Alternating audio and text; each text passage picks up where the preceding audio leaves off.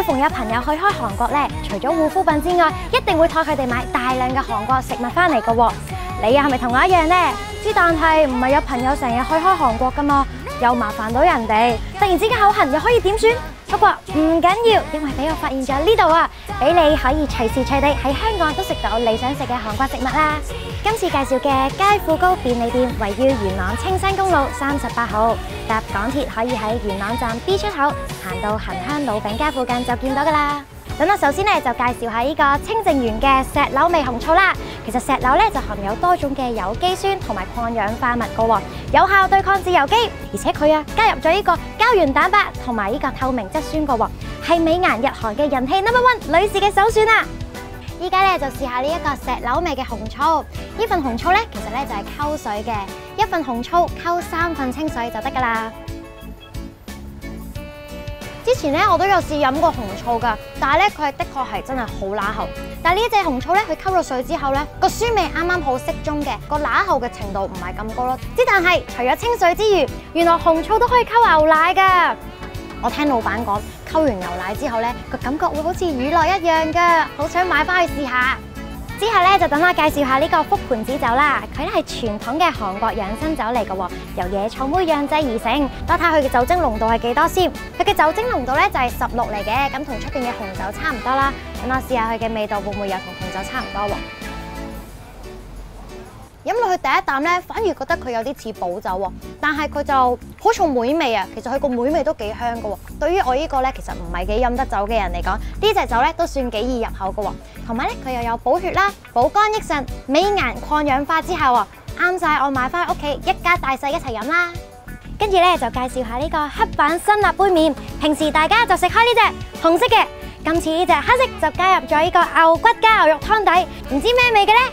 等我試下一小啖先。嗱，如果咧我同平時香港人食開最多人食嗰隻杯麵嚟到比啦，呢一隻辛辣味杯麵咧，麵質咧佢比較煙韌啲嘅喎，同埋食落去其實佢粗咗少少，所以口感就比較豐富啦。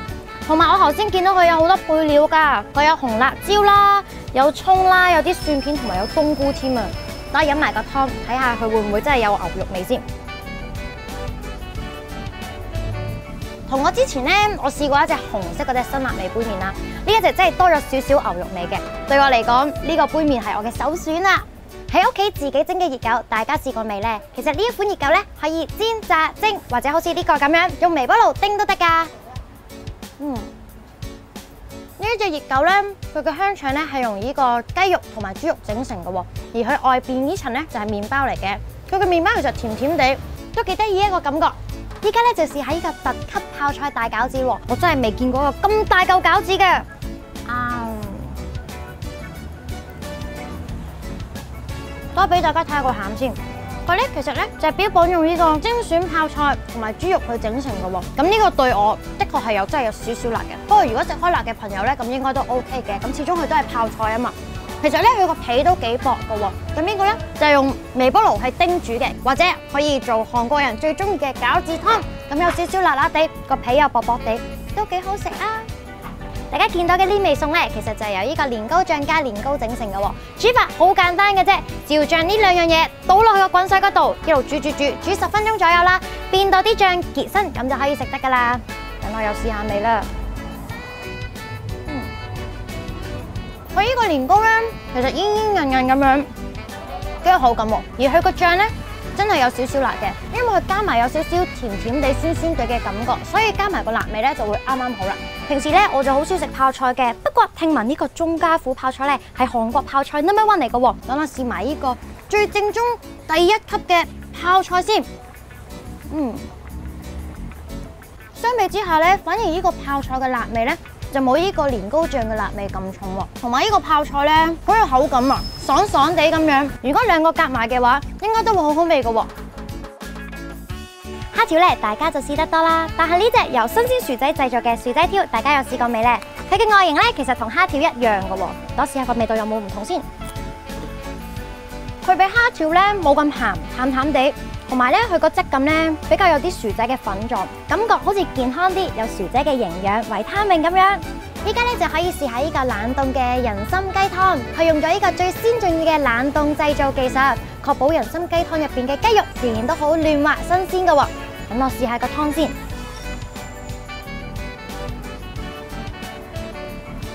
因為我咧本身就以為佢會好重人參味，會有少少怪啦。但係咧，其實佢反而係清清淡淡咁樣，有好重嘅雞味。另外最特別嘅咧，其實就係因為我冇 expect 過人參雞湯入邊真係有咁大隻雞㗎，仲要隻雞入邊內有乾坤嘅喎。等我幫大家打開去睇入邊有啲乜嘢啦。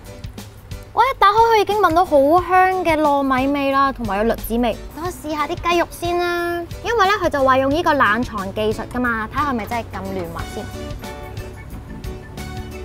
嗯，佢同咧我平時喺出邊嗰啲餐廳咧飲開嗰啲雞湯啊，嗰啲雞一樣嘅喎，都係仲係好嫩滑。切埋個飯先，呢個糯米好重糯米味，同埋吸仔啲栗子味啦，好正啊！呢個人參雞湯。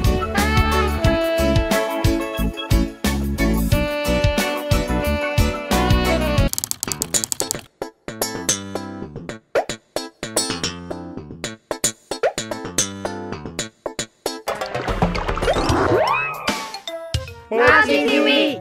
Machi!